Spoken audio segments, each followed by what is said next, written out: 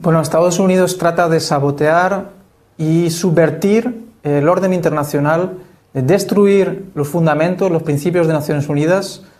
y, lo hemos visto en los pasados años con la doctrina eh, del right to protect, es decir, el derecho para, proteger, que en realidad es un derecho de intervención.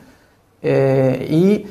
hemos escuchado en el Consejo de Seguridad ayer como eh, el ministro de Asuntos Exteriores, Jorge Arreaza,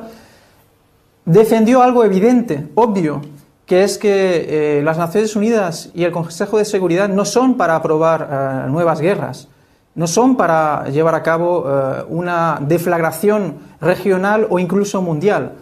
Y lo que pasa es que tendríamos que tener en perspectiva cuál ha sido el papel de Estados Unidos. En los años 70 Estados Unidos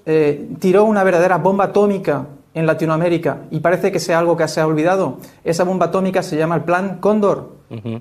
decenas de miles de desaparecidos y de torturados y de asesinados, desde eh, toda esa eh, estrategia contrainsurreccional para evitar que eh, los pueblos de Latinoamérica recuperen su dignidad y sus derechos.